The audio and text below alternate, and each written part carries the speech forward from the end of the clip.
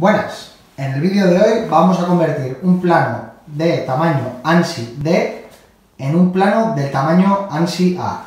Lo primero deciros que un plano del tamaño ANSI D tiene 864 milímetros de largo por 559 milímetros de alto.